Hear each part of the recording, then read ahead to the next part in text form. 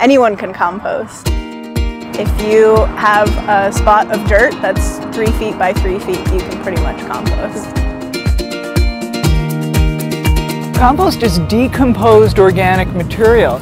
It's material that was once alive, that's undergone a microbial process with bacteria and fungi to break down or decompose and create nature's healthiest soil amendment.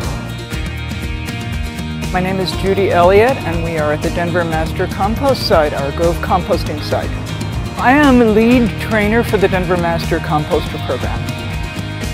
My name is Wrecker Myers and I'm a Denver Master Composter. My name is Kira Gregory. I'm a Denver Master Composter.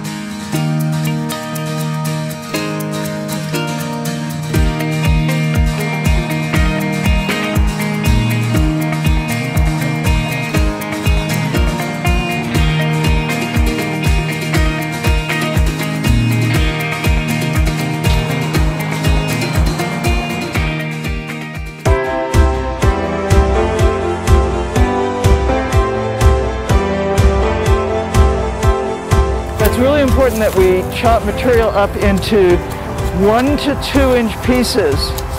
The small pieces make it easier for the microorganisms to decompose it. We're reducing the particle size, increasing the surface area. The material that we're using right now, this is end of season. Zucchini over there to some flowers to some trumpet vine with the stems, the little branches. It's tough, woodier material. That's called carbon material. It gives structure. It's like a strong backbone to the pile. The green material, the leaves, the zucchini, are nitrogen material, and that's a source of amino acids. That's going to make the pile heat up. One of our master composters is pulling apart some alfalfa, which is really rich in nitrogen, and we have some straw, which is a source of carbon. So we're building a pile right here on the ground. One of the richest sources of fall material for compost, which are leaves. So we're adding not only carbon and nitrogen, but we're adding different textures to the pile.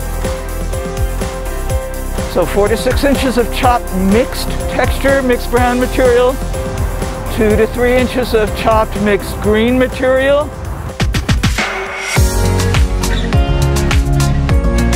I'm just gonna get a handful or so of this compost, really rich in microorganisms.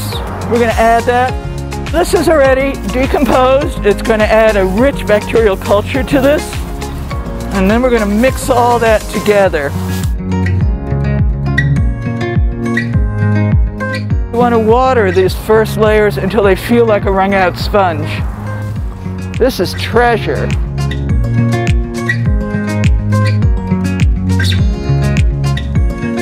Started this pile in June. We've covered it with black plastic to keep out excess wind and keep the moisture in. Very important. We're going to show you what pretty much finished compost looks like. And then we're going to pull out some of that compost before we add so we can layer it with our new material. Then we're going to start adding some of our fresh material. This is a mix of carbon and nitrogen. Before we water it, we are going to mix it. And then we're going to take our hose and we're going to slowly water it. You can see we're not going really too heavy or anything like that. We want that water to feel like a wrung out sponge. And we're going to go ahead and add some more green and brown material, mixed, pre-chopped up, many different textures. When we mix it the second time, we're just opening up new sites for decomposition. And then we're watering it again until it feels like a wrung out sponge in order to get the process started again. And this pile will break down very quickly. Lots of green materials. So the green material with more water is going to make the pile heat up and the brown stems are going to give it structure. Ideally, when we build a compost pile, we want it to be a minimum of a cubic yard in volume. We don't have that now. We're starting with what we have. And as you can see, this is not any high-tech bin. This is cement blocks. It has air that's allowed on the side. We're putting all the material in and we're moving it more towards the back to make this bin as high as possible.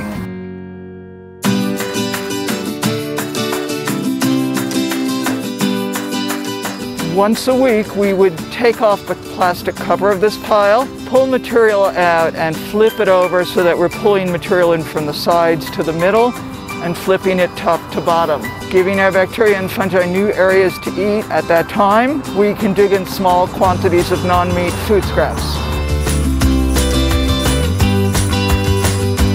So we're going to finish up the process covering it with plastic. Again, we have the holes at the side for aeration and we're just going to keep the plastic down with some rocks. Very low-tech system.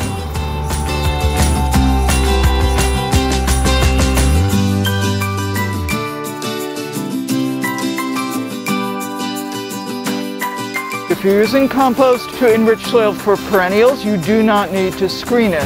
What goes through this quarter inch hardware cloth is material which is very appropriate for using in a seeding operation when you're planting seeds or your transplants in the spring for vegetables. The closer you are to planting time, the finer the material should be.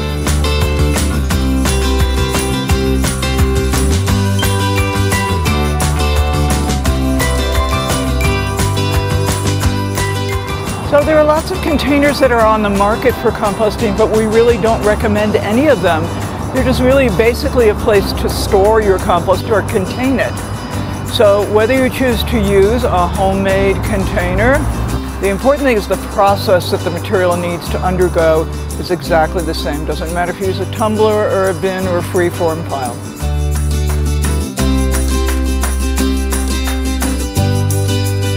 To align healthy soils with healthy people through composting, through healthy living. I love that.